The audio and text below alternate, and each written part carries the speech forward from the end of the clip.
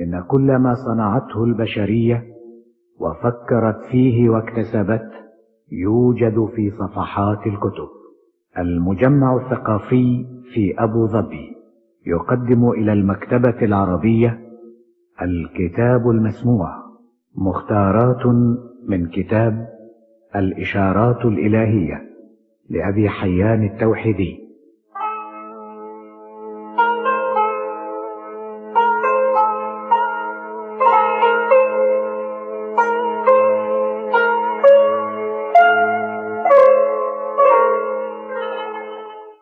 يا هذا كن ذاكرا لما قد ألقيته إليك في هذا الجزء من وصف العبارة والإشارة فإنك تجد به ما يقلك إذا نهضت ويظلك إذا ضحيت ومهما لاح منك أو لاح لك فيك أو لاح لك عليك فإياك أن تسهو عن قلبه وتقليبه حتى يتبين لك ما أنت له مما أنت عليه. واجعل أساسك الأثبت ودعامتك الأرسخ ألا تكذب نفسك بالباطل ولا تكذبها في الحق. واجتهد أن تخلو من أشغالك وإذا خلوت من أشغالك فاعطف على نفسك واخل بها وإذا خلوت بها فاعلم أن رقيب الحق ناظر إليك ومرفرف فوقك. وأنك بعينه التي لا تنام وفي قبضته التي لا ترام وحرمه الذي لا يضام. اللهم إنك جولتنا في آفاق ملكك وأنطقتنا بلسان قدرتك وأدرجتنا بضعفنا في قوتك وأسكنتنا عند مشاهدة عظمتك وحلت بيننا وبين أمرك ونهيك بسوابق علمك ومشيئتك وجمعت بيننا وبين مرادك بغالب قضائك ولازم حجتك. اللهم فكما ملكتنا فارفق بنا وإذا رفقت بنا فأعتقنا وإذا أعتقتنا فاقبلنا وإذا قبلتنا فكن لنا وإذا كنت لنا فكن معنا وإذا كنت معنا. فأنت أنت يا ولي الحمد. اللهم إياك نقصد بآمالنا وعليك نثني بصنوف أقوالنا ورضوانك نبتغي بأعمالنا وإليك نرجع في اختلاف أحوالنا وعليك نلح في طلبنا وسؤالنا لأنك لكل راج ملاذ ولكل خائف معاذ. ندعوك دعاء المضطرين ونتعرض لك تعرض المعترين. يا ذا الجلال والإكرام. يا هذا اختلف اللغات في تصاريف أحوال فعاله وتشتتت الهمم في غرائب ما بدا من إيضاحه وإشكاله. حتى قال قائل وإني لأرجو قربكم ووصالكم ولكنني عما أريد بعيد. إرادة مشوبة وحال مختلفة وعلامات متهمة وطمأنينة قلقة ومعرفة مدخولة ولغة عجماء وعين طموح وقول كلما رام استنارة ازداد ظلاما وقلب كلما حاول خمودا ازداد احتداما فطوبى لمن إذا طلب وجد وإذا لم يجد علل وطوبى لمن إذا فقد سلا وإذا عدم قلا بل طوبى لمن بوشر فؤاده ببرد اليقين وحلي بحلية المتقين وصين في خاصته عم عليه جميع العالمين.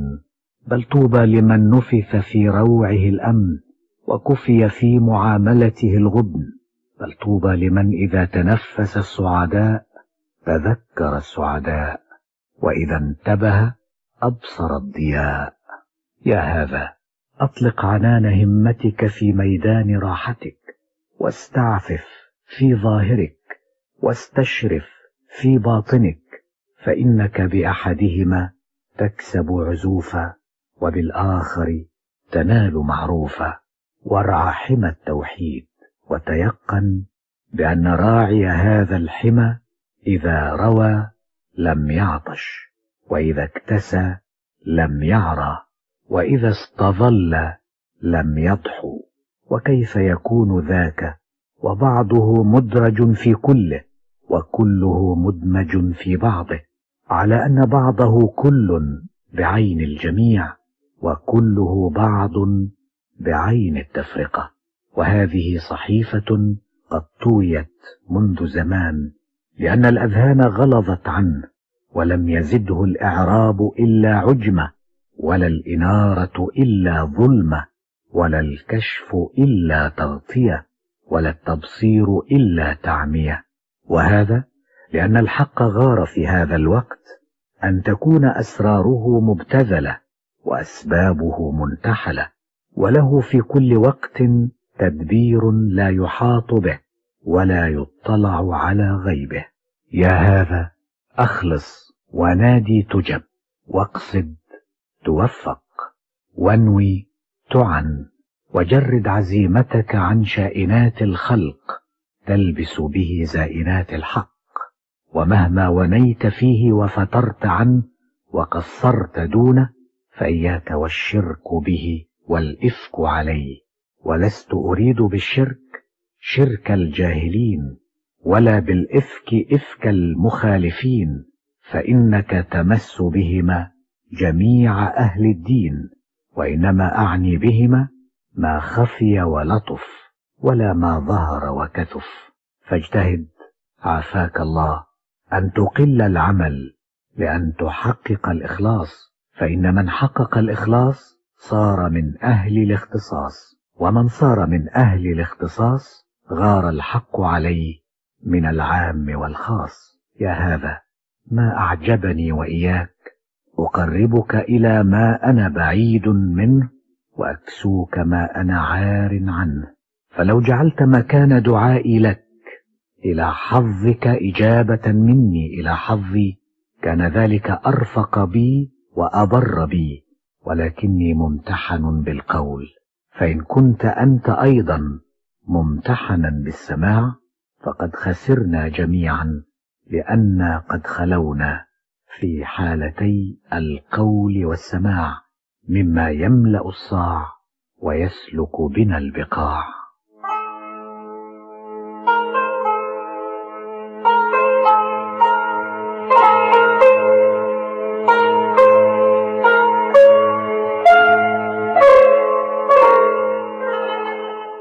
اللهم إنا نقول ما نقول وأنت تعلم ما نقول قبل أن نقول ونعمل فتحيط به قبل أن نعمل فأنت أولنا في كل قول وعمل وآخرنا عند كل رجاء وأمل.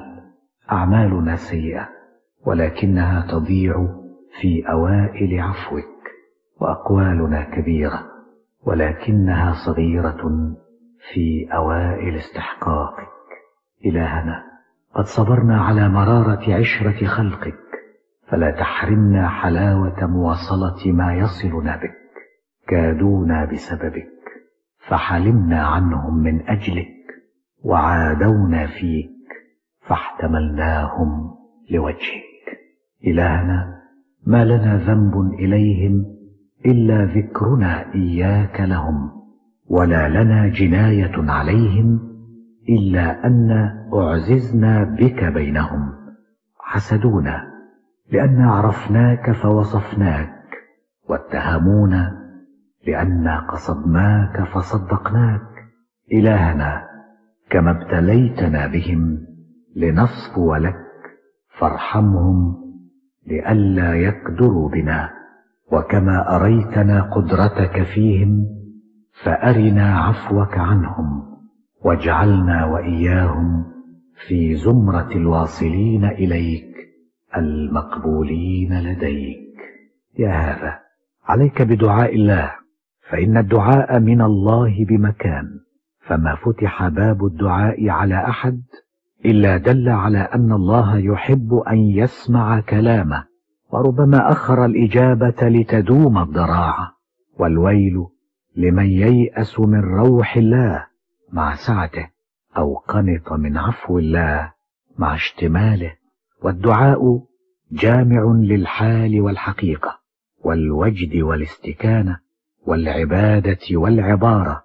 أما الحال فإنها تربط الإنسان في محل السائلين. وأما الحقيقة فإنها تروح عن قلوب الصادقين. وأما الوجد فإنه يستخرج عن اليقين. وأما الاستكانة فإنها تهون ما يبدو على صاحبه المسكين. وأما العبادة فإنها تؤدي حق التكليف على ما ورد به الكتاب المبين. وأما العبارة فإنها تقف صاحبها على مدرجة المتلطفين المترفقين. وما لهج بالدعاء أحد إلا رأى في عاقبة أمره ما يسر النفس ويجر الأنس وما رفضه أحد إلا كان قاطعا للعصمة بينه وبين رب العالمين. اللهم إنا لو وفينا الحياء منك حقه لم نواجهك متلوثين بلطائف الدنيا مدلين بالقول مقلين من العمل عارين من الحقيقة. ولكنا على ذاك نعيد أنفسنا من اليأس من رحمتك لأنك قد حضرت ذلك علينا ودعوتنا إلى حسن الظن بعفوك وإلى جميل عقباك في آخر أمرك. اللهم فكن لنا أكثر منا لأنفسنا ودافع عنا غوائلنا علينا وإذا تهتكنا فاسترنا وإذا تفرقنا فاجمعنا وإذا غفلنا فأنبهنا وإذا أعرضنا فاقبل بنا وإذا فسدنا فأصلحنا وإذا بعدنا فقربنا أنت القادر ونحن الضعفاء أنت الواجد ونحن العدماء أنت الغني ونحن الفقراء. يا ذا الجلال والإكرام. أيها الحيران في سعيه والسكران في رعيه والمتغافل عن حظه والمتجاهل بين لحظه ولفظه والمتكاسل عن خدمة ربه والمتحامل على حبه بحبه. تصفح سرك بعقلك واحكم على نفسك بعدلك وتجمع عما قد تفرقت فيه وتفرق عما قد تجمعت له واستيقن أنك مرعي لا مهمل ومطلوب لا متروك ومحفوظ لا مضاع ومقيد لا مطلق. وإذا وضح لك اليقين بذلك فانظر أين منك. أعني ما لك فيك وما عليك بك. فبهذه الموافقة الصادقة تلحق تلك المرافقة السامقة. وبهذه الحركة القائمة تنال تلك البركة الدائمة. فتهيأ يا هذا جهدك لقبول تحياه وكن منك على بال لعلك تغنى بعطاياه. يا هذا وجد بالمعنى الطالع عليك الغارب فيك كالبادي منك المحيط بك الحاصل لك فإنك إذا وجدت وجد بك وإذا وجد بك جاد عليك وإذا جاد عليك أغناك. وإذا أغناك نلت غاية مناك. يا هذا ثق بأنك لا تفوز بقربه إلا ببعدك عن كل ما كان غيره قاطعا عنه وشاغلا دونه. وتذكر في أضعاف حالاتك معارض أفعالك ومقالاتك. وقل سلام على نسيم كان يصل من الحبيب إلى قلب كل عنه. كل طبيب. اللهم إنا إليك نفزع وفي رياضك نردع وصوت رضاك نتوقع وثوب خدمتك نتدرع وبفنون الثناء عليك نتذرع وباب جودك وإحسانك نقرع ومرارة ما يفوتنا من فضلك الواسع بتقصيرنا نتجرع. اللهم اجعل أمارة قبولك لنا ومنا وفينا أن تخرسنا إلا من ذكرك وتعمينا إلا من النظر إليك وتبعدنا إلا من النزول بفنائك وتفقرنا إلا من الفوز بعطائك وتضعفنا إلا من الظفر بأعدائك. قد وجهنا أمانينا إليك ووقفنا آمالنا عليك ووحدناك كما أعلمت ومجدناك كما ألهمت وقصدنا في طلب رضوانك فيما بين ذلك. فعد بفضلك علينا ونحن سائلون. فقد جدت بفضلك في الأول وما كنا سائلين ومزيدا بالإحسان تمم.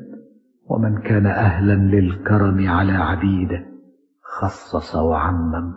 يا مولانا منك تعلمنا ما قلنا وبك اهتدينا فيما سألنا.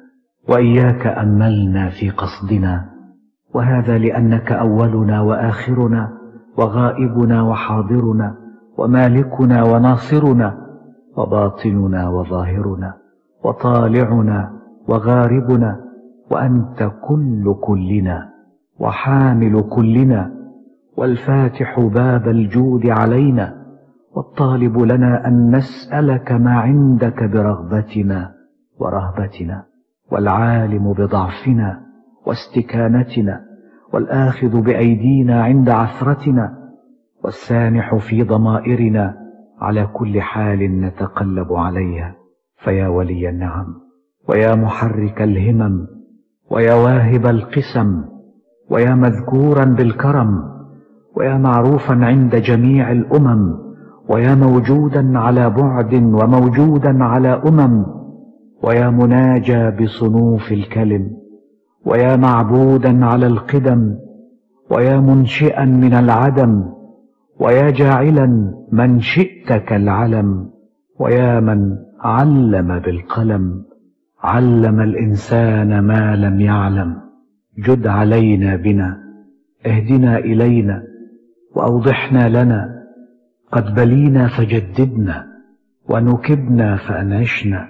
وتعسرنا فسهلنا وتعقدنا فحللنا ونكرنا فعرفنا وجهلنا فعلمنا وقلقنا فسكنا واستوحشنا فآنسنا وبعدنا فقربنا وتبنا فاقبلنا وضعفنا فقونا وزهدنا فرغبنا ورغبنا فزهدنا وضللنا فاهدنا. وخذلنا فانصرنا وهبطنا فرقنا ووقعنا فخلصنا ورقدنا فأيقظنا وسألنا فاعطنا وقصرنا فاحتملنا.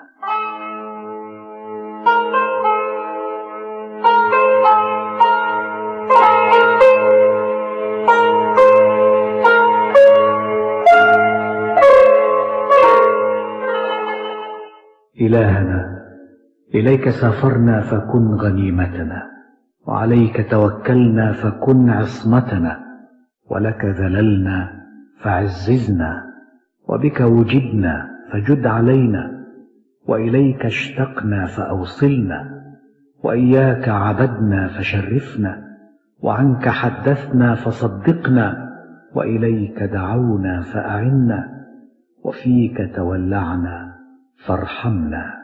اللهم إنا نعوذ بك عائذين ونعوذ بك لائذين ونسألك أن ترشحنا للزلفة عندك بحسن القبول منك. يا ذا الجلال والإكرام. اللهم فارحم فاقتنا إلى كفايتك وألبسنا جناح رأفتك واعطف علينا برحمتك ووكل أبصارنا بمواقع قدرتك. وأنطق ألسنتنا عن بدائع حكمتك واستعمل جوارحنا بطاعتك وسرح أرواحنا في معادن منحتك حتى نستريح من هذا الكرب الجاثم في صدورنا حسرة على ما يفوتنا من رضوانك وتقبلك. واصرف أطماعنا عن خلقك واجمعها في عطيتك بكرمك. فما أجهلنا إن خالفناك بعد أن عرفناك وما أحسن حالنا إذا ذكرناك وما أقربنا منك إذا دعوناك وما أسعدنا بنجواك وما ألهجنا بذكراك وما أنعمنا في ذراك وما أجحدنا لسواك. يا من هو بلا إحاطة وإدراك إلهنا إن مرضنا كان بك فاجعل شفاءنا على يدك وإن خلافنا لك كان بقضائك. فاغفر لنا الآن بتفضلك وحيائك وإن زيغنا كان بعلمك بنا وحلمك عنا فاجعل تقويمنا الساعة بلطفك عندنا وتفضلك علينا.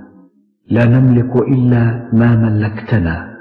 ولا نملك أيضا ما ملكتنا إلا إذا أمددتنا وأرفدتنا لك الآلاء الجسيمة والنعماء العظيمة والأيادي الكريمة والخيرات الحديثة والقديمة.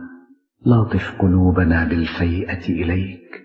سهل علينا في كل الأمور التوكل عليك. وعرفها حسن التأني في طلب ما لديك. كدها صافية من غيرك إلى بابك.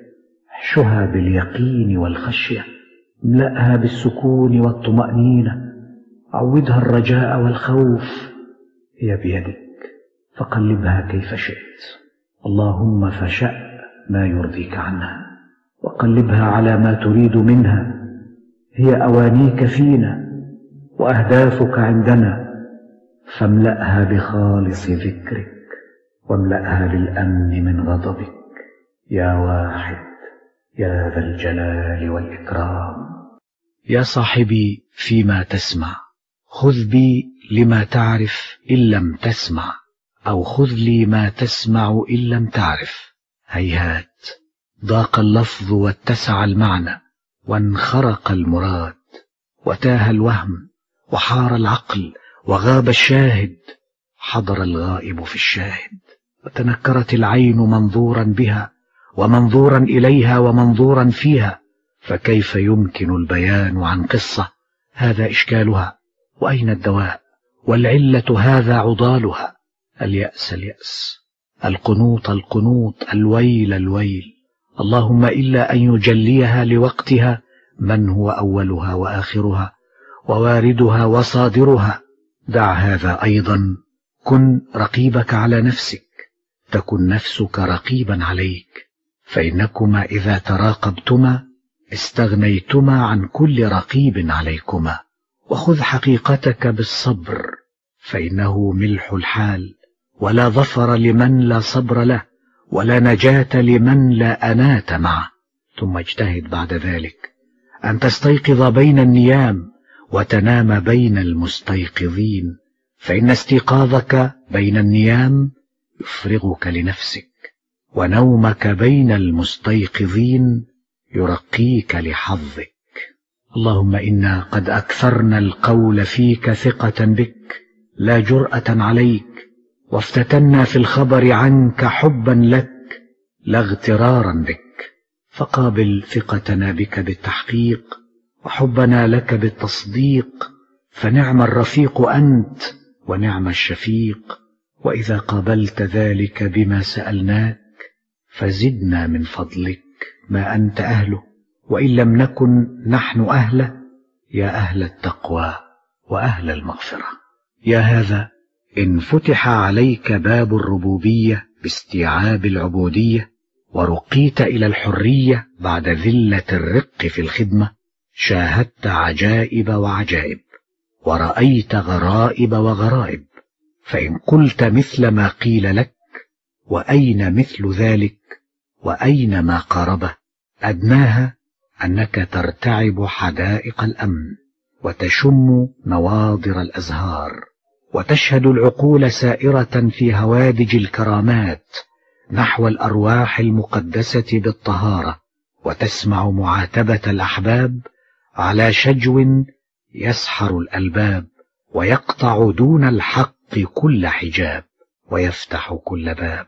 اللهم إنا نعتسف هذه الطرق الوعرة ونصبر على مشاقها بالجوع والعري والوحدة لنخرج منها يوما إلى نورك الذي أضاء عالمك وفيه برز غيبك وعليك دل فعلك. وإليك أشار أثرك فنسألك بهذه القدرة أن تقبلنا ولا تردنا وصلنا ولا تبعدنا يا ذا الجلال والإكرام. اللهم اصنع لنا والطف بنا وافككنا من أسرنا واجبرنا من كسرنا حولنا من عسرنا إلى يسرنا فجودك فائض وخزائنك ملأى وحكمك نافذ وملكك عظيم ورحمتك واسعة والطريق إليك رحب. يا هذا تضرع إلى رب له خضعت الرقاب وعنت الوجوه وحارت العقول وحالت البصائر وله بان كل شيء وإليه انتهى كل شيء وعليه وقف الأمل وفي فنائه أناخ الراجي فإنك إذا تضرعت إليه سحت سماؤه عليك وأتمر لك كل شيء واستفاد منك كل شيء إنك إن ذقت حلاوة وصاله وآويت إلى عريش كرمه لم تصبر ساعة واحدة عن ذلك النعيم الخضل واليسار الدائم والأمر القائم والبر المتصل. والمراد الحاصل. يا هذا إلى متى تنافس أهل الدنيا في الدعوة؟ ثم لا تنظر إلى حالك في العقبة. لم لا تسلك الطريقة المثلى؟ ماذا يجيء من هذا التهافت وهذا الجهل؟ كأنك ما رأيت بعينك عبرة ولا حصلت لك بشيء خبرة. أما تستحي أن تستخدم عقلك الذي هو أشرف منح الله عندك.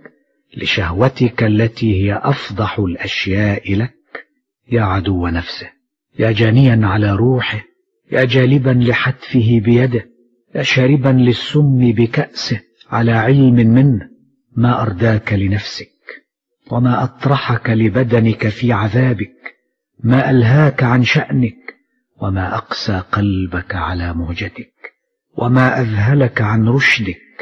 وما أركبك لمطية غيك وما أصفق وجهك في خلافك وما أصلب حدقتك لإصرارك وما أضيق عذرك عند احتجاجك واعتذارك.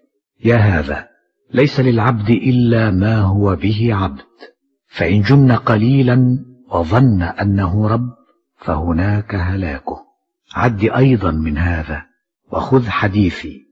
إما جملة لا تشفيك شرحا وإما تفصيلا لا ينفي عنك برحا. يا هذا. إنما احتجت إلى تهذيب الأخلاق لأنك معجون من عقاقير كثيرة ومركب من أضداد متعادية وأشكال متوافية وكانت قبل كأنها أنت وكنت بها لأنها فيك. فلهذا احتجت إلى ضم نشرها ولم شعثها وتألف شاردها وإصلاح فاسدها وتقويم أعوجها وإرشاد أهوجها فإذا صلحت أخلاقك حسنت آدابك وإذا حسنت آدابك شرفت هممك وإذا شرفت هممك طابت مآربك. أيها السامع قد قلت ما تسمع واعظا لك بالنصيحة وناصحا لك بالموعظة وعاطفا على نفسي بفضل القول لك وفيك فإن كنت وجدت برد ذلك في صدرك وثلجا ببعض اليقين من نفسك فاتخذني صاحبا لك. لعلي أجد بذلك شيئا مما وجدته ولعلي أنال به ذروا مما نلته فإن أيادي الله مختلفة المصادر والموارد ومتباينة المبادئ والعوائد وليس بضائر أن يسعدني الله بك لقبولك مني كما أسعدك بقبول ما نجع فيك من قولي ولعلي قلت ما قلت مزخرفا وقبلت ما قبلت مخلصا فرحمك الله بي أخذا بيدك ثم رحمني محسنا إلي إنما يحب أن يرفع الله درجتك على واعظك لحسن تقبلك ثم يجعلك مشفعا في واعظك. إن ذلك لشرف بين وكرامة عالية ومنزلة ما مثلها منزلة.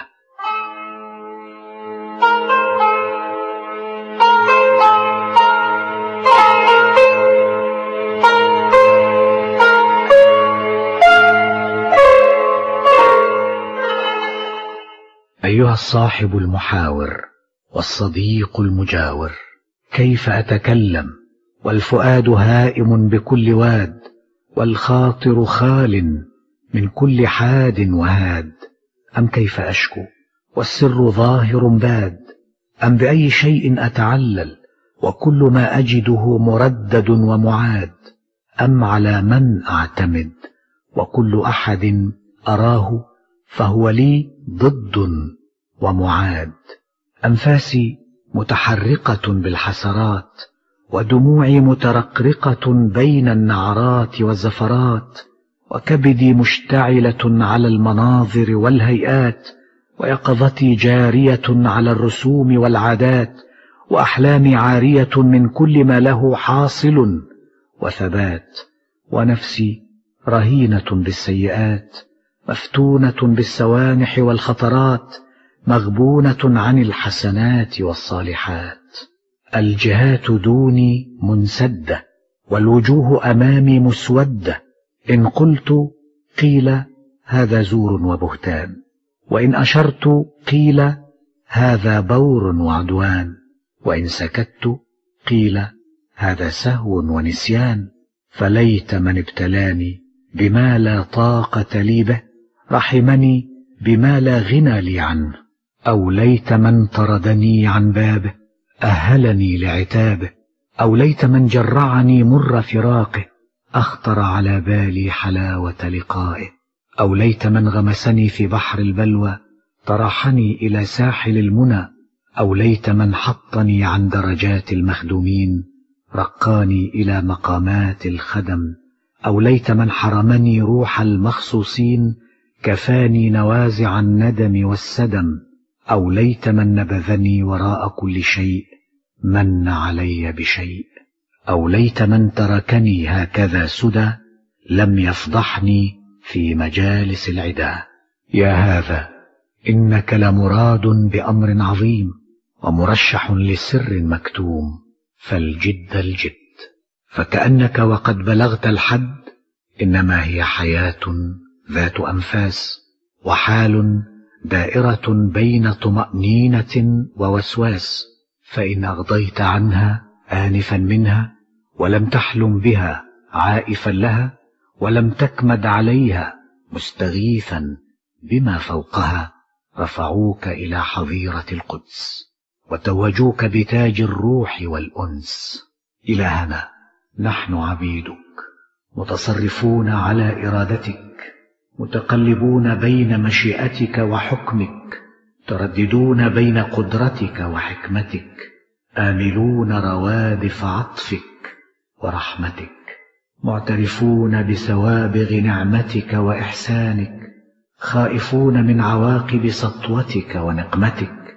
فقلب يا إلهنا رجاءنا على يأسنا وغيب خوفنا في أثناء أمننا. واهتف بنا إذا سهونا وارأف بنا إذا ضعفنا وشرفنا إذا اتضعنا وأوردنا إذا ظمئنا وأوفدنا إذا طفئنا وتألفنا إذا شردنا. قربنا منك إذا بعدنا عنك وصلنا بك إذا انقطعنا دونك. فإنك مالك نواصينا في الشهادة والغيب ومدبر أدانينا وأقاصينا في الروح والكرب. إلهي كل ما أقوله فأنت فوقه وكل ما أضمره فأنت أعلى منه. فالقول لا يأتي على حقك في نعتك وكيف نقدر على شيء من ذلك؟ وقد ملكتنا في الأول حين خلقتنا وقدرت علينا في الثاني حين صرفتنا فالقول وإن كان فيك فهو منك والخاطر وإن كان من أجلك فهو لك من الجهل أن أصفك بغير ما وصفت به نفسك ومن سوء الأدب أن أعرفك بغير ما عرفتني به حقيقتك ومن الجرأة أن أعترض على حكمك وإن ساءني كيف يكون هذا الظن صوابا والعجز مني ظاهر والقدرة منك شائعة. هيهات أسلمت لك وجهي سائلا رفدك وهجرت كل من ثنى بي إلى غيرك وكذبت كل من أيأسني من خيرك وعاديت فيك كل من أشار إلى سواك. أنا أنسى ما جدت به علي في القدم حيث أنا ليس وفي العدم. ثم ربيتني بين القسم والنعم ثم ألبستني قميص معرفتك ثم أهلتني لمناجاتك ثم أذنت لي في الدعاء لك ثم أمرتني بالدعاء إليك ثم رشحتني لحفظ أسرارك وأطلعتني على نجودك وأغوارك بغرائب أخبارك وآثارك.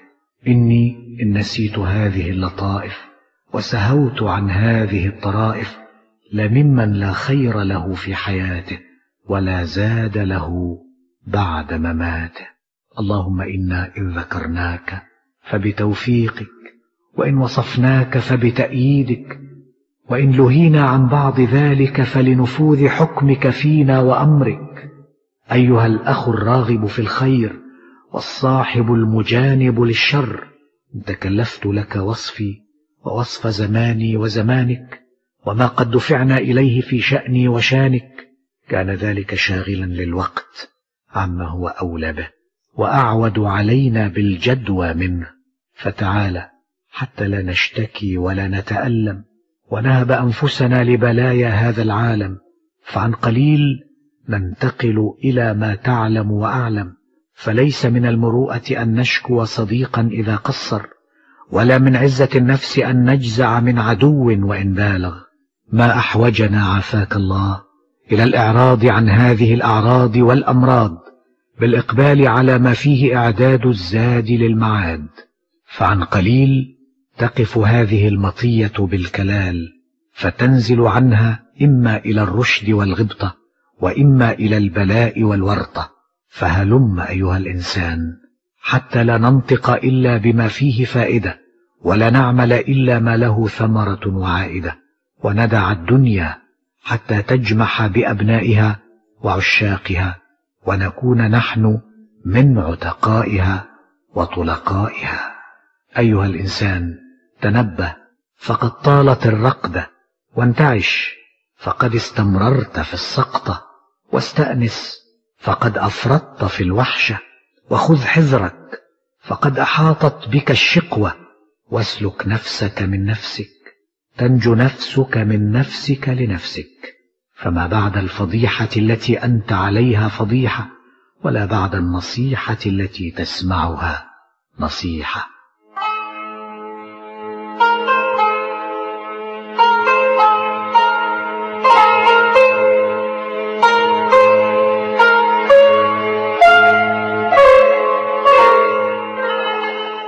اللهم اغننا بتنبيهك عن تنبيه خلقك وغيبنا في مشهد رضوانك عن عبادك وأشهدنا في غيب ملكوتك كلما غاب عنا باحتجابنا عنك واغضض أبصارنا إلا عن النظر إلى وجهك وازمم خواطرنا إلا من السبوح في مراد ألوهيتك واجعل أول قولنا عندك.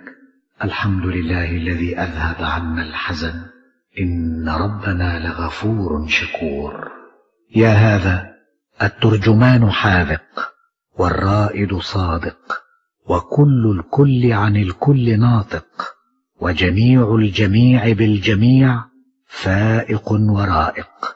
ولكن شاهد السمع غائب وآمل المنى خائب والوقت بضروب أحداثه ثابت آثب يا هذا أتاح الله لك من غيبه ما لا يحلم به أملك وصرف عنك كل ما يحول بينه وبينك ولذذك بخطابه إذا ناجاك ومتعك بنعمته إذا خصك وجعل ظاهرك ينطق عنه تحقيقا وباطنك يوقن به تصديقا ورقاك إلى ذروة عليات الحق. فبها تصفيتك وأحكامه تتصرف فيك وأنت في خاف ذلك وباديه تشهد آلاءه شاكرا وتتقلب في أثنائها شاكرا مسلما وصابرا. اللهم إني أشكو إليك شاهدا جذوعا وغائبا مقطوعا وحالا بين هذين لسنا ننفك منها نزوعا. ولا نستسهل عنها رجوعا ولا نجد لأنفسنا فيها خشوعا ولا خضوعا. اللهم فاجمع هذا الشمل المبدد واكفنا مؤونة هذا اللفظ المردد بالمعنى المقوم المسدد. وإنما نعيد السؤال ونكرره لعلمنا بأنك القادر الممجد. اللهم إنا كما نعجز عن وصفك بما أنت أهله نستحي أن نسألك ما نستحقه ولولا أنك تحرك منا الساكنات عند التوجه إليك وتسكن منا كل متحرك عند تعظيمك وإجلالك لما كنا نتذبذب هذا التذبذب في هذه الأحوال المختلفة. ولكنا بك لأن لك ومعك لأنا منك وعلى كل وجه فإليك المفزع وإلى بابك المرجع فاصرف عن حاضرنا وغائبنا خوالب الوسواس ولكنا بك لأنا لك ومعك لأنا منك وعلى كل وجه فإليك المفزع وإلى بابك المرجع. يا هذا قد طال نشري عليك مطوي هذه القصة بضروب من العبارة وصنوف من الإشارة رغبة في شعلة تبدو منك وطمعا في نجابة تنطق عنك ونظرا إلى إثارة الحق في سر يطلع عليك. وأنت على طينتك جامد لا تذوب وخامد لا تلتهب وراكد لا تهب وميت لا تتحرك. وباهت لا تبصر ونشوان لا تفيق وكثير لا تتوحد وكدر لا تصفو ومنقبض لا تنبسط ومدعو لا تحضر ومسؤول لا تجيب ومنصوح لا تقبل وغاد لا تروح وثاكل لا تنوح وكاتم لا تبوح. يا هذا ما أشبهني بك وما أشد انخراطي في سلكك وما أسفرني عن نقابك وما أسكنني في كهفك وما أطيرني بجناحك وما أفوهني بلسانك وما أحملني لثقل مثل ثقلك. لكني ممتحن من باب آخر وهو أني مستنطق بما إن خالفت فيه كان دماري. وإن استحقرت به كان ويلي منه. هذا بعض حديثي على تقطعه وانبتاري. يا هذا تزحزح عن هذا المكان قليلا حتى نتناجى بلغة أخرى ونتهادى النصح بها على طريقة هي أولى بنا وأحرى. من استأذن على الله أذن له. من قرع باب الله دخل. كيف تنتفع بالنصيحة وأنت مقيم على الفضيحة؟ معرفة الله روضة من رياض العقل. ما أنطق الليل والنهار لو استمع إليهما وفهم عنهما. الجدل في الدين مطردة لليقين. الاتباع خير من الابتداع. الابتداع أخطر من الاتباع. النية عرق والخير شجره والعمل به ثمرته. الشريعة مأدبة الله للعباد. التوحيد حياة النفس. المعرفة الفوز بالقدس. من تبع هواه فقد عبد غير الله. أكرم نفسك. ما أعانتك على طاعة الله. أهن نفسك ما عافتك عن خدمة الله. الويل لمن ضاقت. رحمة الله مع سعتها عنه. لك من الله نسب أصح من نسبتك إلى أبيك فاحفظه فإنه ينفعك. إذا ضللت عن حكمة الله فقف عند قدرة الله. فإنه إن فاتك من حكمته ما يشفيك فلن يفوتك من قدرته ما يكفيك. سق عقلك إلى ملكوت الله ولا تقحمه في جبروت الله. إذا استأثر الله بشيء فله عنه. إذا تلطخت بعار أنت بين هاد يقودك وحاد يسوقك ليس للغواية غاية تقف دونها جهدك. لا تحكم على نفسك إذا غبنتك ولا تبغضها إذا أرشدتك. ربك يحسن اختياره لك. فلا تتعرض أنت لفناء الأبد بسوء اختيارك لنفسك. من انقطع إلى غير الله وكله الله إليه. من صلح مع الله لم يفسد مع غيره. من سالم الله سلم. أصدق الكلام كلام الله. كيف ينجو من الله طالبه؟ كيف يضيع مع الله كافله؟ ما أقرب العبد من الله إن فطن لما فيه. لله عندك وديع. فاحفظها وتوسل إليه بها. اللهم إنا قد أكثرنا القول فيك ثقة بك. لا جرأة عليك. وافتتنا في الخبر عنك حبا لك لا اغترارا بك. فقابل ثقتنا بك بالتحقيق وحبنا لك بالتصديق. فنعم الرفيق أنت ونعم الشفيق. وإذا قابلت ذلك بما سألناك فزدنا من فضلك ما أنت أهله وإن لم نكن نحن أهله. يا أهل التقوى. وأهل المغفرة. يا أرحم الراحمين. أيها السامع ليس كل من رقد حلم بما يريد ولا كل من مد يده نال ما يطلب ولا كل من ادعى سلم له دعواه ولا كل من دعا أجيب ولا كل من قرع الباب دخل ولا كل من استرق السمع سلم ولا كل من استعفى أعفي. ولا كل من قال بدا لي ترك ولا كل من استرحم رحم ولا كل من تعرض استخدم ولا كل من سأل حرم ولا كل من ألحف أعطي ولا كل من بكى أرضي ولا كل من خطب زوج ولا كل من ملك توج ولا كل من رجا أدرك ولا كل من منع خاب ولا كل من قدم فقد أكرم ولا كل من أخر فقد أهين ولا كل من سبح غرق ولا كل من خوف فرق ولا كل من أومن اطمأن ولا كل من توسل قبل ولا كل من التمس نول فلا العلم باختلاف الأحوال نافع ولا الجهل به ضار بل ربما ضر العلم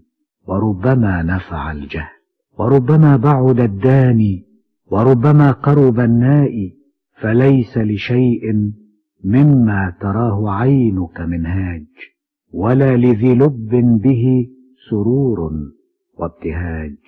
وهذا كله لقدرة صادرة عن غيب مشيئة ولمشيئة نافذة واردة على شهادة قدرة ولحكمة خافية في آفاق المملكة وأحكام جارية على أصناف الخليقة وأسرار مجهولة عند البحث والحقيقة والأقوال في وصف تشاكلها وتباينها مختلفة فلا جرم لا سر إلا وهو متهم ولا قائل إلا وهو متوهم ولا سامع إلا وهو كظيم ولا عامل إلا وهو مليم ولا قلب إلا وهو سقيم ولا لائم إلا وهو ملوم ولا واجد إلا وهو عديم ولا غني إلا وهو فقير ولا عظيم إلا وهو حقير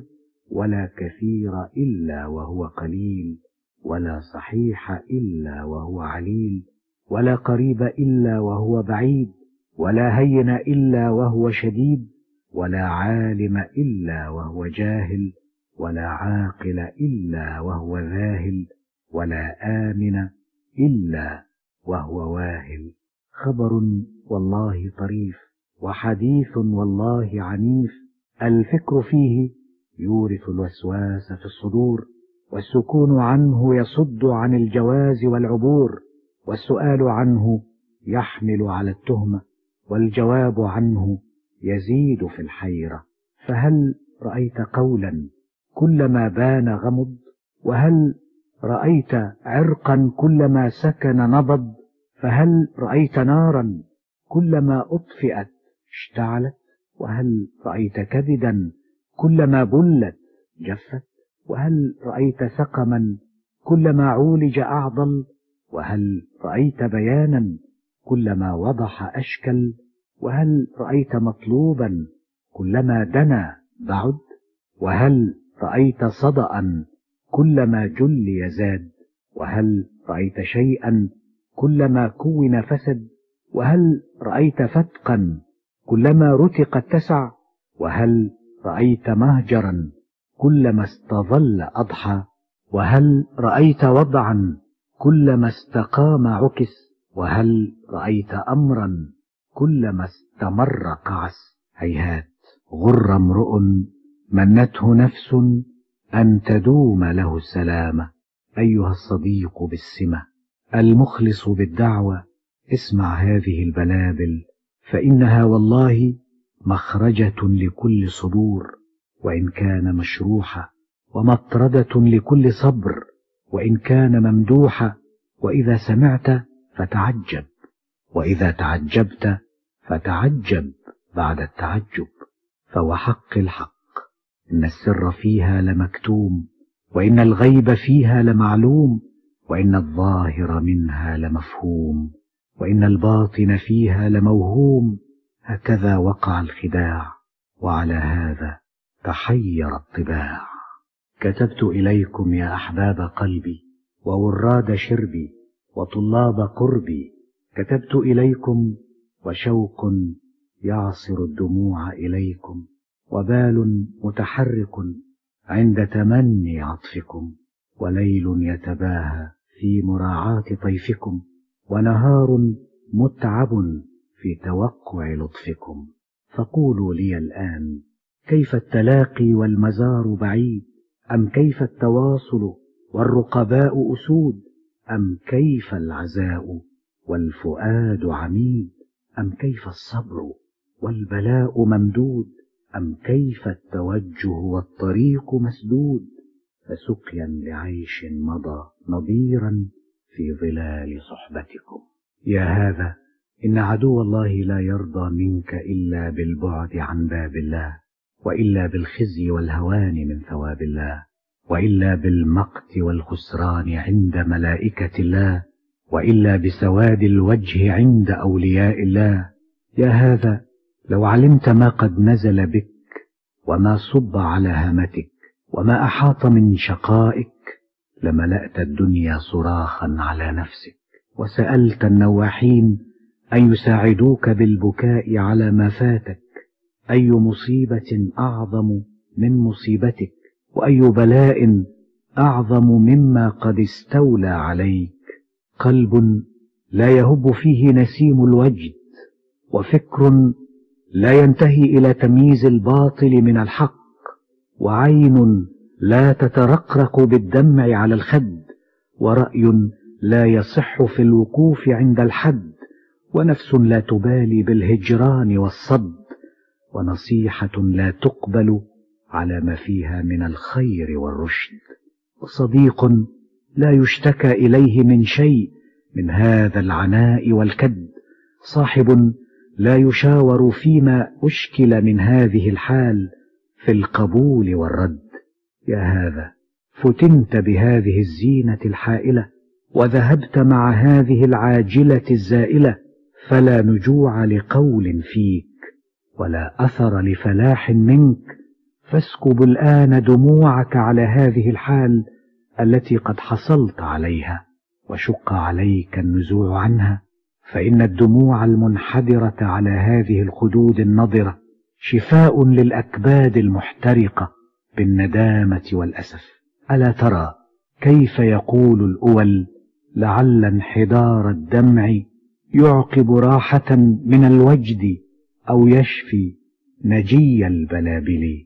يا هذا قد كان القوم أناخوا عندك وسألوك الرحيل معهم وبذلوا لك المعونة جهدهم وقدموا لك راحلتهم. ووعدوك أن يبلغوك غايتهم ورفقوا بك وبجميع ما كان عندهم ثم خوفوك الوحشة بعدهم. والندم على ما يفوتك منهم فأبيت وتوانيت وجمحت وطغيت وتعديت وبغيت وتفردت برأيك وظننت ظنونا كلها عليك فلما حفت الحقيقة وجاءت المصدوقة أخذت تلوك لسانك بالويل وتحك عينك بالإصبع وتقول يا حسرتي على ما فرطت في جنب الله هيهات هيهات والله لتصيرن الحسرة على صدرك جمرة من النار تتوقد بالليل والنهار إلا أن يقضي الله فيك فما أنت أهله فإليه المصير. يا هذا هون عليك هون عليك وكن بربك واثقا فأخو التوكل شأنه التهوين. طرح الأذى عن نفسه في رزقه لما تيقن أنه مضمون.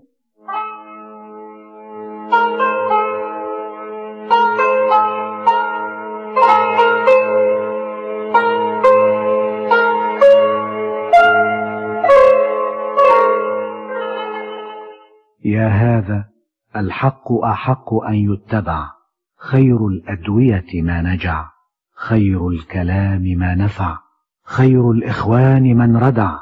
يا هذا كيف أصف لك احتراقك في حالك؟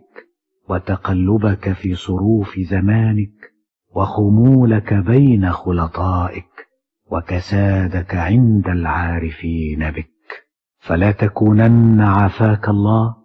الذي وصفه الأول حينما قالوا أطعت مطامعي فاستعبدتني ولو أني قنعت لكنت حرا. وما أحسن ما قال الآخر حتى متى يسترقني الطمع وليس لي في الكفاف متسع. ما أوسع الصبر والقناعة للناس جميعا لو أنهم سمعوا. أما المنايا فغير غافلة لكل حي من كأسها جرع.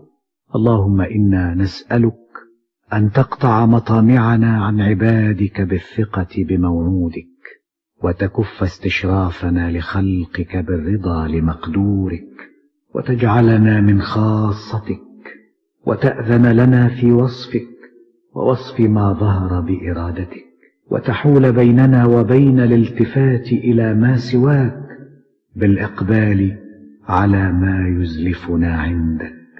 يا هذا لو ذقت حلاوة عيشك مع ربك لعلمت أن كل ما عداها باطل ولو أشرفت على النعيم الذي أعده لخدمه لأيقنت أن كل شيء بعده زائل ولو علمنا إلى ما ننتسب لذهب الفخر بنا كل مذهب. إلهنا نسألك بفضلك ورحمتك أن تسمح لنا وتسامحنا حتى ننتهي إلى رضوانك وإلى غفرانك على أن لا ننال رضوانك إلا بغفرانك ولا نملك غفرانك إلا برضوانك. يا أعز من دعي وأكرم من أجاب يا أول يا آخر يا ظاهر يا باطن. يا غائب يا حاضر يا جابر يا كاسر يا شاكر يا هادي يا ناصر يا قوي يا قادر يا صادر يا الله نسألك لطائف وغرائب لطفك حتى نجول في أكناف مملكتك متطلبين لمراضيك موحدين لك عارفين بك قارين معك قانتين لك متوجهين نحوك نازلين في خططك جانين من ثمار كلامك واجدين غيب ربوبيتك. اللهم إنك أنت مفجر عيون القلوب وأنت المطهر لما في العيون وأنت الواهب لما تشح به النفوس. إلهنا إنا نقول ما نقول عن عي وحصر ونحمل ما نحمل على قدر الوسع والطاقة. فاجبر كل نقيصة لنا وارفع كل خسيسة منا وأيدنا منصورين وانصرنا مؤيدين وعلمنا اسمك الأعظم حتى ندعوك به ممجدين. ونتقرب إليك به مقدسين. يا ذا الجلال والإكرام إنك رؤوف بالعباد. يا هذا كم تعذبني وتؤذيني وتحجبني عن مصالح شؤوني بشرح فتوني وفنوني. والله ما تحل لك. ليس هذا من حق الصحبة ولا من ذمام العشرة. ولا من حسن العهد في الصداقة. أبق علي لي وإلا فأبقني لك. اللهم لا تؤاخذني بإقبال على خلقك وبمسالتي إياهم على ما هو عتيد عندك وبتواضعي لهم فيما أجده حاصلا قبلك. فإنما ذلك فزع مني إلى كل من ادعاك وتحلى بحبك وانتمى إلى خدمتك وبفضل حبي لك أحب كل محب لك ولفرط وجدي بك أجد بكل واحد بك أنت المطلع على خبأ الضمير والمحيط بكل مستور والمصافي كل من صافاك والموالي كل من والاك لك الفضل في الثاني لأن لك الفضل في الأول وأنت الموجود في كل زمان والصاحب لكل إنسان. لا تخفى عنك ذرة ولا تفوتك خطرة. لك الآلاء الخفية والأيادي الجليلة والآثار المكشوفة والأخبار المعروفة والأنفاس عليك تتحرق والجباه من أجلك تتعرق والعيون إليك بالشوق تترقرق. لك مع كل روح روح وفي كل قلب تقلب وعلى كل فؤاد رقيب. طلبت فلم توجد ووجدت فلم تعرف وعرفت فلم توصف ووصفت فلم تلحق وشوهدت فلم تدرك. وكيف لا تكون كذا وفوق ذا ونحن لا نحيط ببعض خلقك على خواف ما نظن فيه من حكمتك وبوادي ما ظهر عليه من قدرتك. وإذا كان عجزنا عن ذلك يفضحنا عندنا ويردنا علينا ويوارينا فينا ويخجلنا منا ويعكسنا إلينا. فما قولنا فيما خلا ذلك؟ مما لا نحسه بمشاعرنا ولا نلحقه ببصائرنا على أن مشاعرنا بك تحس وبصائرنا بك تلحق وكلنا لك. وإن كنت أعرتنا ذلك وكلنا بك. وإن كنا مفترين بذلك وليتنا بأمرك ونهيك ثم وليتنا بعلمك وإرادتك فعلينا أن نؤدي ما تقدمت به إلينا وليس لنا أن نعترض عليك فيما تفردت به دوننا لأنك مالك قليلنا وكثيرنا ومصرف أولنا وآخرنا والحاكم بما تراه فينا مما ساءنا وسرنا. يا أحكم الحاكمين ويا أرحم الراحمين.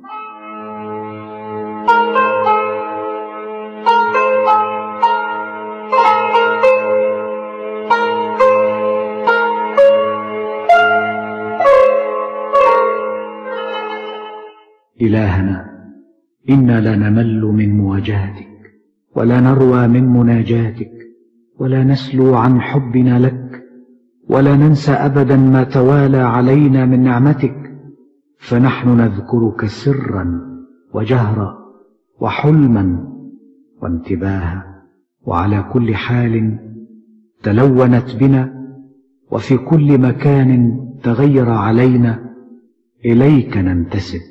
ورضاك نكتسب وأرواحنا في طلب ذاك نحتسب. فصلنا بتوفيقك ولا تعرنا من إحسانك ولا تحوجنا إلى أحد من عبادك.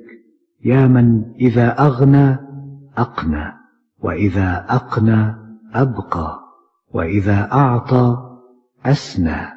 يا ذا الجلال والإكرام. يا هذا لك أحوال في يقظتك ومنامك وحركتك وسكونك وغضبك ورضاك وأخذك وعطائك ووحدتك ولقائك وحرصك وعفافك وقبضك وبسطك وعلمك وجهلك وريائك وإخلاصك فاجتهد أن تكون في يقظتك ومنامك ناظرا إلى الله بالخشية والحياء وفي حركتك وسكونك أن تكون وازنا لها بالعدالة التي تحفظ عليك مالك وتنفي عنك ما ليس هو لك. وفي غضبك ورضاك أن تكون ثابتا على سنن لا يزدهيك الرضا ولا يستغرقك الغضب. وفي أخذك وعطائك أن تكون حاضر الذهن متوقيا من الغلط لك وعليك.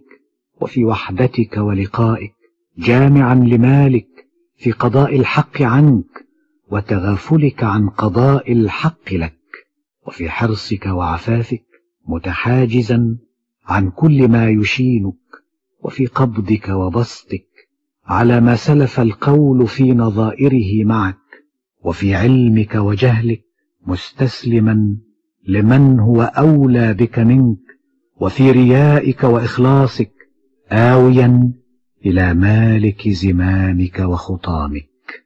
إلهنا ما أعجب أسرارك فينا بل ما أعجب شواهدك علينا بل ما أعجب جملتنا في تفصيلنا بل ما أعجب تفصيلنا في جملتنا. كلفتنا معرفتك وحجبتنا عن كنه حقيقتك. شوقتنا إليك ثم سددت طريقنا فوحقك لا برحنا ولا سنحنا. ولا هدأنا ولا سكنا حتى نصل إليك ونقف بين يديك ونقول بما لديك وننظر إلى وجهك الكريم نظرا يوجب لنا رضاك عنا وإقبالك علينا ونسمع كلمتك العليا. أوليائي إنما أتعبتكم لتستريحوا وإنما أشقيتكم لتسعدوا. سري فيكم غريب وشأني معكم عجيب فاستبشروا الآن والسلام.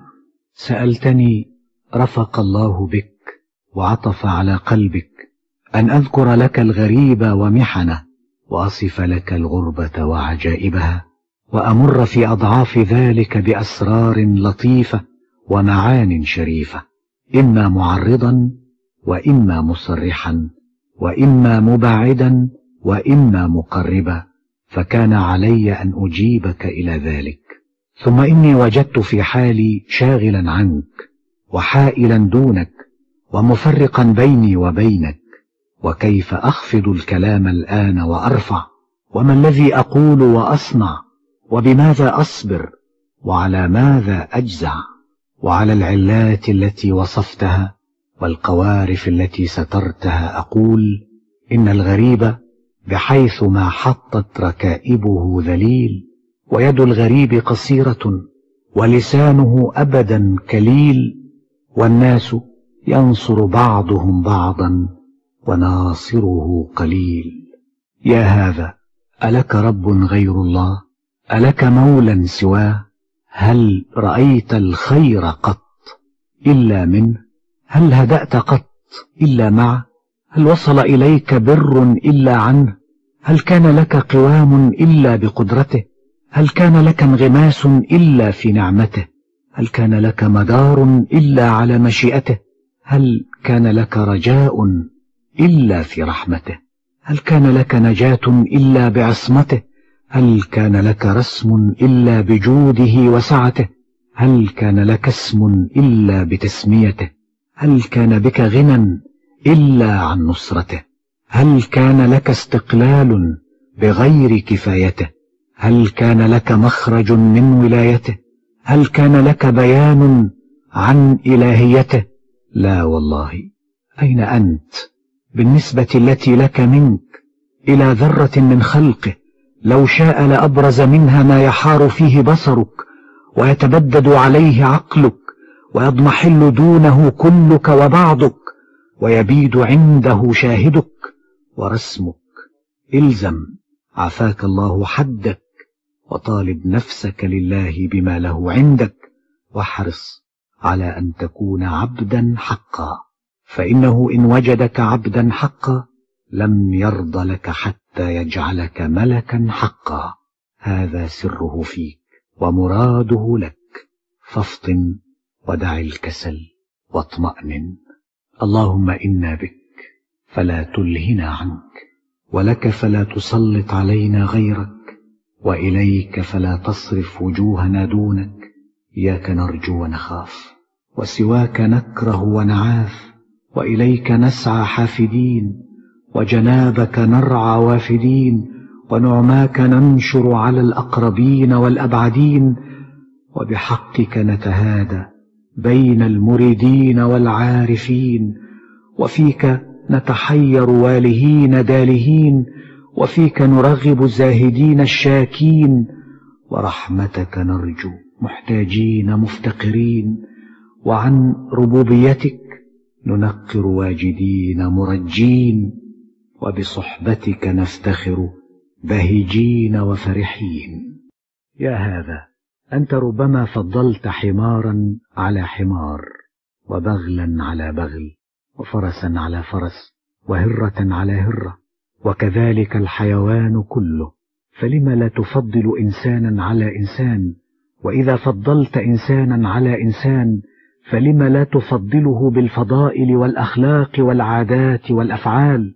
ولكن تفضله بالدراهم والدنانير والثياب والضياع والغاشية والحاشية إنك إذا لمن الظالمين لأنك قد جهلت الفاضل من يكون والفضل ماذا يكون؟ إن كنت لم تجهل الفاضل ولا الفضل فكن الفاضل واكتسب الفضل فليس بين العلم والعمل سور وإن كان سور فليس من حديد وإن كان من حديد فالحديد أيضا يعالج بما يلين به ويستجيب له. يا هذا صارف نفسك في أنفاسها وفي خواطرها. فإن لم تقدر ففي نياتها وعزماتها. فإن لم تقدر ففي مقاصدها ومراصدها. فإن لم تفعل ففي أفعالها واختياراتها. فإن لم تقدر ففي أبدالها. وفيما يقوم مقامها. ما أغرب هذه الإشارة. وما ألخص هذه العبارة ولكن أين الذين يدورون ويحضرون فيسمعون؟ بل أين الذين يسمعون فيعقلون؟ بل أين الذين يعقلون ويحصلون ما يعقلون؟ فكم كلمة عقلت ولكنها من ذلك شردت فطالت عليها الحسرة والندامة. إن الكلمة تطلب مقرها الموافق لها فإذا صادفت سكنت وإذا لم تصادف جالت في آفاق النفوس دائبة إلى أن تجد مكانها اللائق بها. وإذا نطق بها من لا ينتفع بها فذاك أيضا لتبرؤها عن صدر الناطق وقلة رضاها به وقلقها إلى غيره. زاغت الأبصار حين سرحت نحوك وارتدت خاسئة حين رامتك. وحارت الألباب حين فحصت عنك وانكفأت على أعقابها فرقة منك. إلهنا فإن لم يكن محالا من أحد هذين الوجهين فجد علينا بذلك وإنا لديك شاكرون وله مستحقون. وإن كان محالا فنحن أعلم بك من أن نسألك المحال ونطلب ما لا يجوز أن يطلب فأبرد أكبادنا من حر الشوق إلى ذلك بالقناعة والتسليم حين نتثبت لك على الصراط المستقيم راضين بما قسمت شاكرين لما وهبت متقبلين لما تفضلت مفوضين إليك راغبين فيك عالمين بأنك المنعم الأول والمحسن الأفضل. اللهم احذف عن ألسنتنا فضول القول معك خاصة في وقت مسألتك واجعل هيبتنا لك بقدر توكلنا عليك ولا تجعل بعض أقاويلنا وبالا إلا ما أنت أولى به يا ذا الجلال والإكرام. إلهنا كيف نطلبك؟ وأنت قبل الطلب موجود أم كيف نجدك؟ وأنت بعد الطلب مفقود لست مفقودا بالعين ولكنك مفقود عن العين ولست موجودا بالعقل ولكنك موجود للعقل وليس يلتبس أمرك إلا من حجبته عنك ولم تؤهله لمعرفتك ولا رأيته مستحقا للإشارة إليك. إلهنا بحرمة هذه السابقة منك إلينا إلا ألحقتنا بعصابة الأتقياء عندك وحشرتنا في زمرة الأولياء قبلك وخصصتنا بعد هذا وهذا بما لا نحسن أن نتمناه ولا نجسر على أن نتخطاه.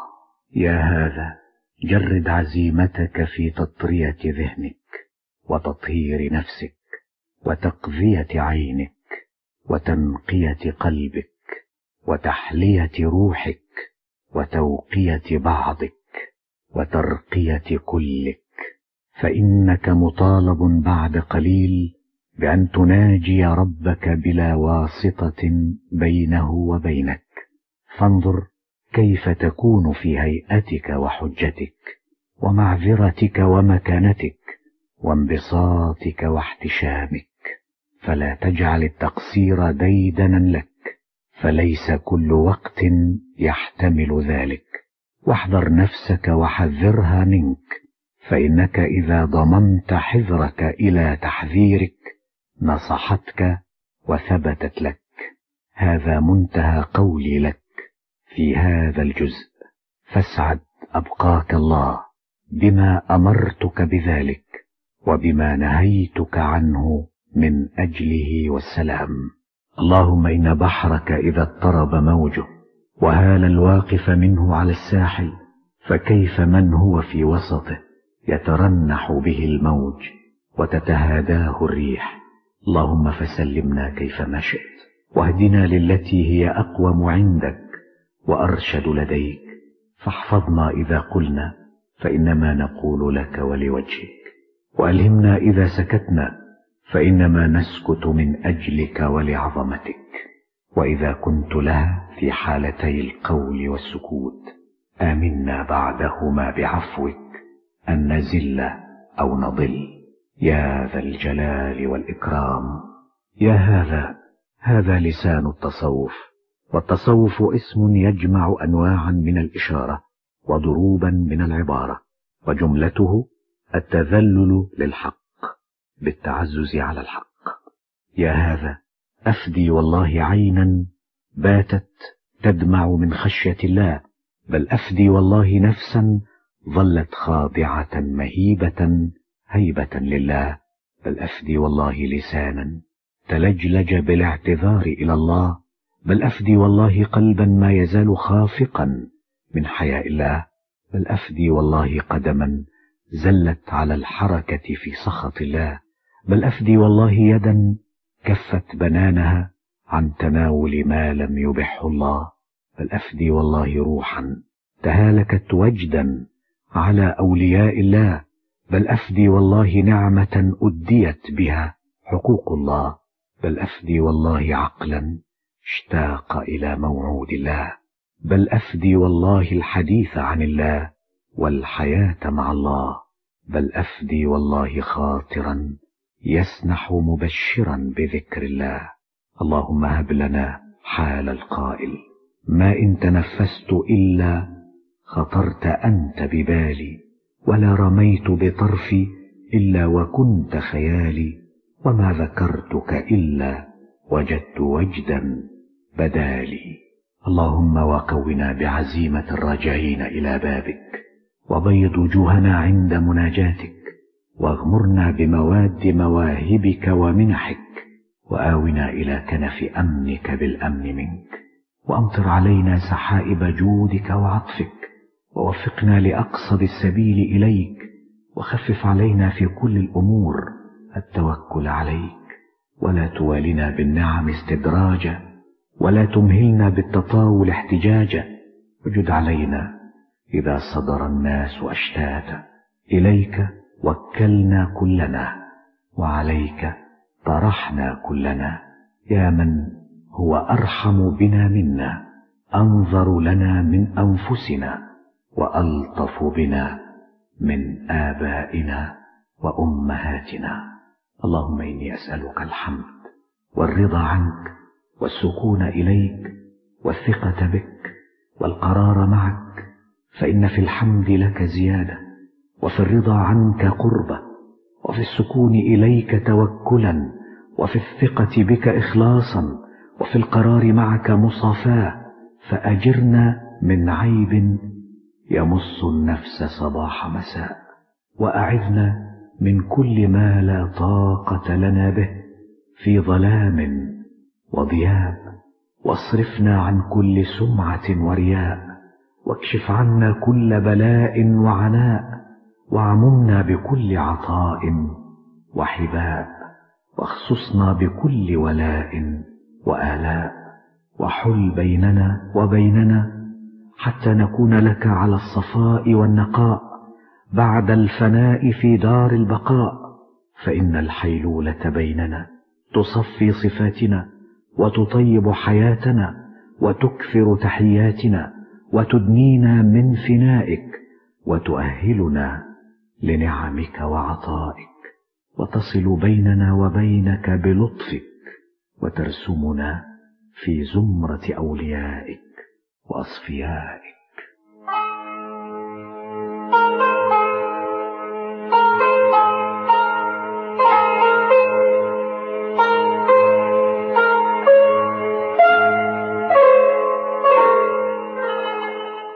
أيها المسترق للسمع المتوالي في هذا الجمع إذا سمعتني أدعو الله فثق بحسن ظني به وإذا رأيتني أدعوك إليه فثق بخالص نصحي لك وإذا وجدتني أذكر الله فاعلم أني أريد التقرب إليه وإذا صادفتني أصف الشوق فتيقن أني أريد بك أخذ العتاد والأهبة وإذا لحقتني أشير إلى المحبة. فاعلم أني أحرضك على المواصلة وإذا رأيتني أعيب الدنيا فاعلم أني أريد أن أصرف عنها نظرك. أما سمعت الحكيم كيف يقول إني رأيت عواقب الدنيا فتركت ما أهوى لما أخشى ففكرت في الدنيا وجدتها فإذا جميع جديدها يبلى. وإذا جميع أمورها عقب بين البرية قلما تبقى. يا هذا إذا وجدت طبيبا يجمع لك بين الحذق والنصح فارفع إليه داءك وأعرض عليه علتك.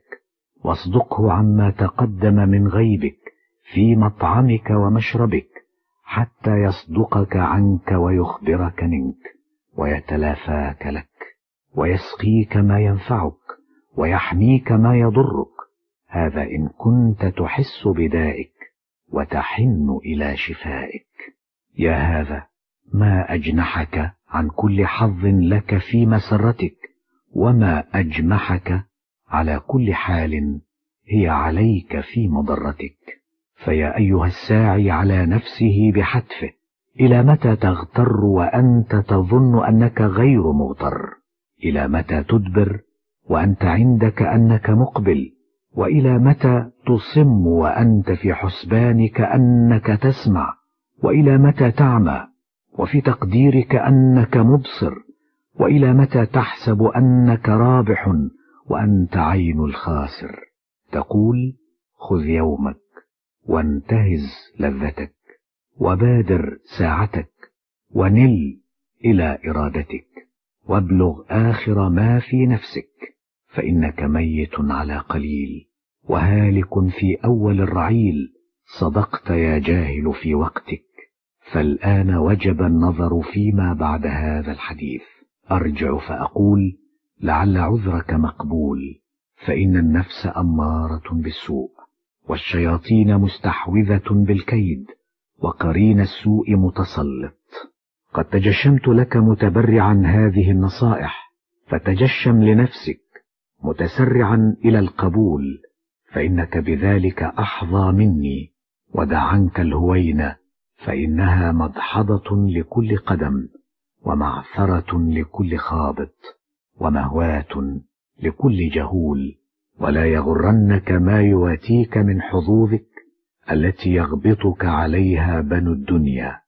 فإن ذلك إلى اضمحلال فاجتهد في استبانة أمرك وتعرف خاصة ما يعنيك.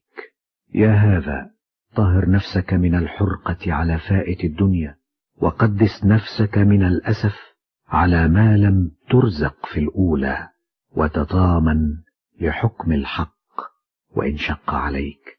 فإن ذلك أنهض بك وأشد لاستقلالك وأنظم. بدد همك في سلك نزهتك وانثر عن كاهلك كل ما أثقلك في مقصدك وكن لنفسك بنفسك تجد أنسك في أنسك وإياك ولو فإنها مزلقة وإياك ولعل فإنها مغلقة وإياك والتمني فإنه مقلقة وإياك والهوى فإنه معلقة وإياك والتهمة فإنها مغرقة وعليك بالفكر الصحيح والرأي الصريح والصاحب النصيح. يا هذا مداراتي لك مداراة لنفسي دعائي لك استكانة مني. تأمل مخزون قول بعض العارفين فإنه قد هتف بشأن عظيم عن محل في أعلى عليين. قال إذا رأيت الله عز وجل يؤنسك بذكره ويوحشك من خلقه فقد أرادك. وإذا رأيته يؤنسك بخلقه ويوحشك من ذكره فقد طردك.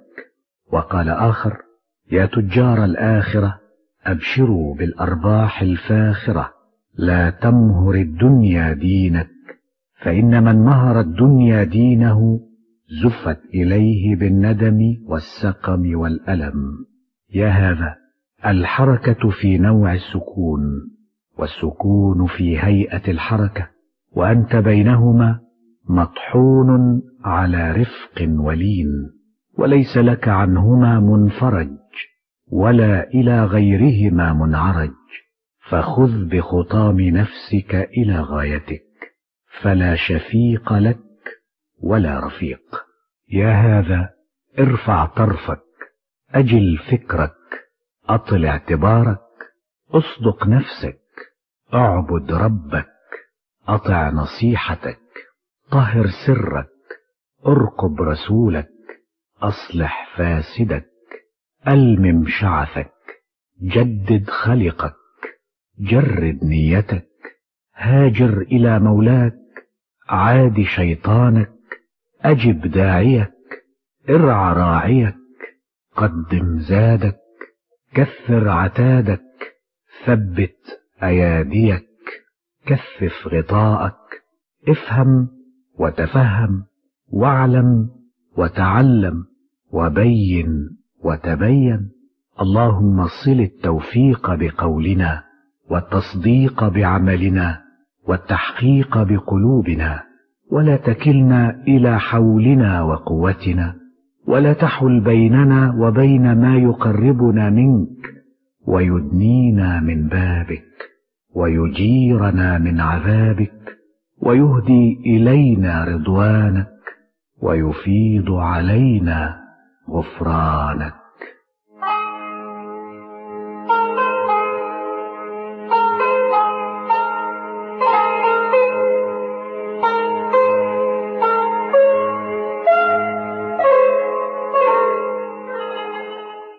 اللهم إنا قد بذلنا دون طاقتنا في طلب ما عندك فهب لنا تأييدا منك حتى نستنفدها في حيازة رضاك. فإنك إن وكلتنا إلينا عجزنا وإن تركتنا علينا تحيرنا وإن كنت لنا فيما بينك وبيننا فزنا. سبحانك.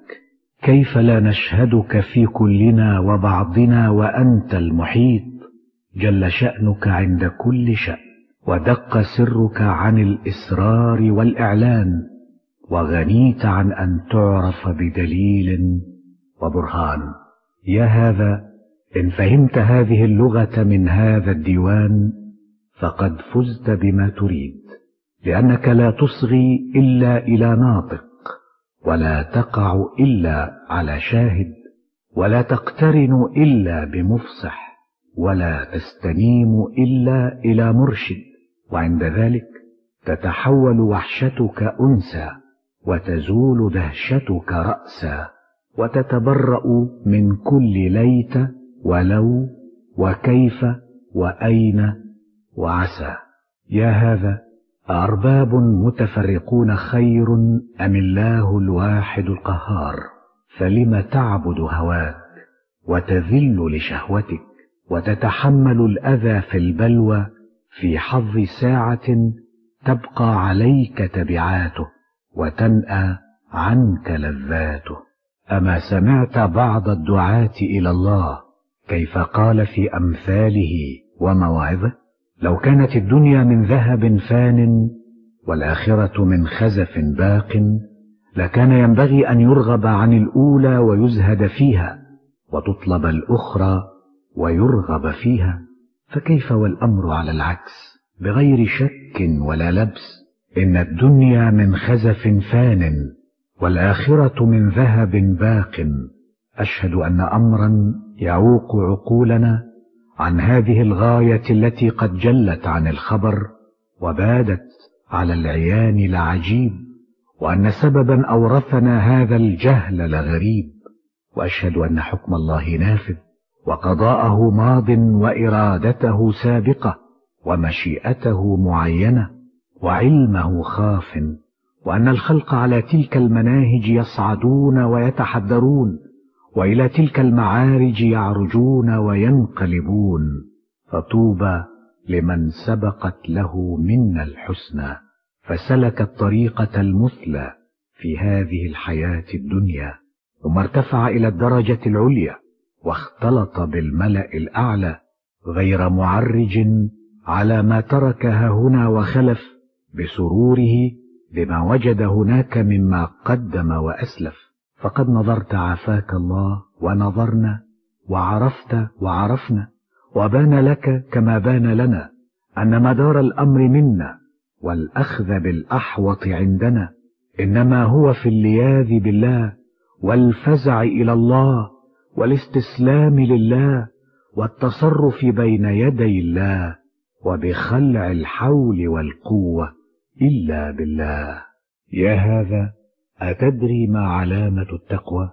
العلامة أن ترى نفسك يوم العيد ذليلة بالشكر لهجة بالذكر مستبسلة بالصبر خاضعة بالتوجه متواضعة بالتنزه متبدلة بالتوبة مقلعة عن الحوبة راغبة في ذخائر الحق والصادقين من الخلق. اللهم إنك إن طردتنا عن بابك فبذنوبنا التي هتكنا بها ستر حرماتك وإن قبلتنا على هناتنا فبكرمك الذي لم نزل نتوقعه منك. وإن لم تطردنا ولم تقبلنا استهانة بنا وازدراء لنا وقحنا وجوهنا وأطلقنا ألسنتنا وقلنا على من تردنا ونحن عبيدك؟ وإلى من تكلنا ونحن خلقك؟ تولنا كيف شئت ساخطا وراضيا فقد استسلمنا وسلمنا وقد علمنا يا إلهنا أنك لا تعاملنا بعد هذا الانقياد والاستخفاء إلا بما أنت أهله في الجود والكرم والإحسان الذي سبقت به إلينا في القدم وكيف نيأس من روحك أو نقنط من رحمتك؟ بعدما أهلتنا لمواجهتك وأذنت لنا في مشافهتك حتى وجدناك بما عرفناك ثم سألناك على ما وعدناك فكن لنا عند هذا الظن فإنك عند ظن عبدك.